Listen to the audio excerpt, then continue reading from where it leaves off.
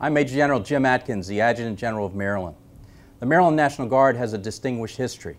Our soldiers held the line and helped save General Washington's army in 1776 at the Battle of Long Island.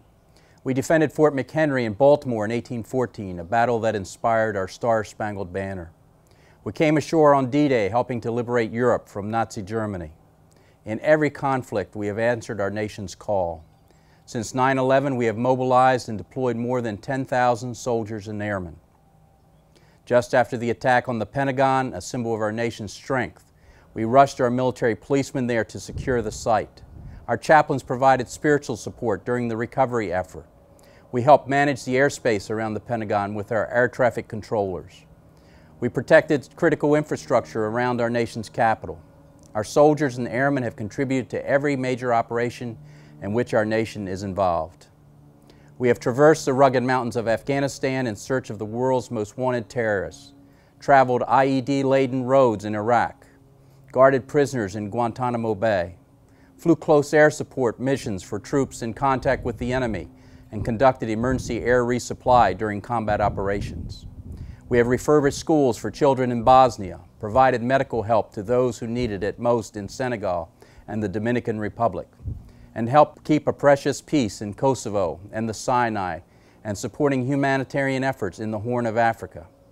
And we continue our long-term partnership with Bosnia-Herzegovina and the Republic of Estonia as part of our state partnership program.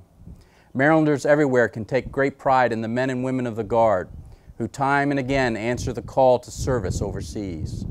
All during these deployments, we have been able to respond to the needs of our citizens here at home.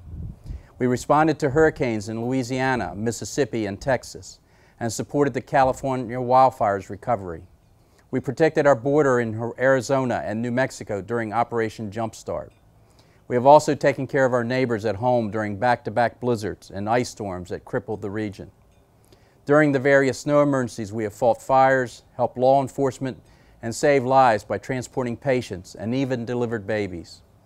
We were also called for the flooding for the hurricanes of Isabel and Hanna and other storms in Maryland. We have worked with local law enforcement to help keep our streets safe and drug-free.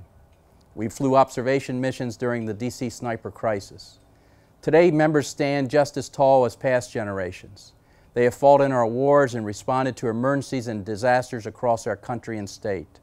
Our men and women are well trained and well motivated to assist their neighbors in times of distress.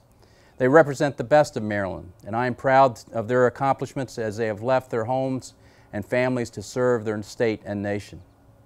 I'm grateful that we have such fine men and women that join our ranks, but it would not be possible unless they had the support of their family, friends, employers, and their communities. Thank you.